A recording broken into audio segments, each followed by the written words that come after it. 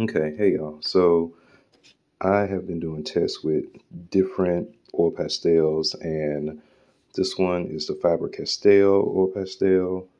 As you can see, it's kind of transparent, and I use the color green as like a, kind of a standard. So those are okay. Not my favorite, but okay.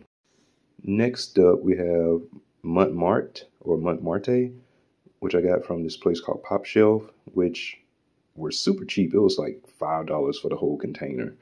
And as you can see, you know the coverage is a bit uh, a bit better than the first, but it's also a little chunky and kind of like I don't know what to call these things. It makes these weird little streaks, and it's a lot brighter than it is on the screen at the moment. I'm gonna go outside at the end of this and show the difference.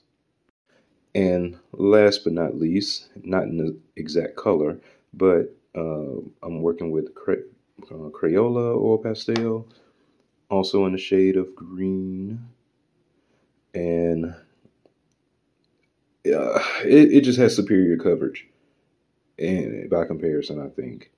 Like Mont Marte and Crayola are two of the best that I've worked with so far Faber Castell, I feel like it's better for sketching because like I will use this as a as an underpainting or under sketch, and the other two I would actually use for regular application.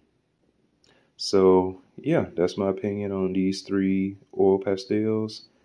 In order of how I would use them, first off it would be Crayola, Mont Marte, and then Faber Castell.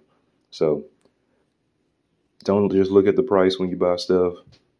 Save your money, buy cheaper stuff. Sometimes it's better. Yeah, look at that vibrant sea.